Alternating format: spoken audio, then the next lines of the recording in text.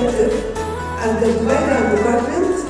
last year 2017 has been filled with activity and achievement in the real estate market, which has been facilitated by our flexible procedure and keenness to strengthen cooperation and coordination with all of the developers in the market.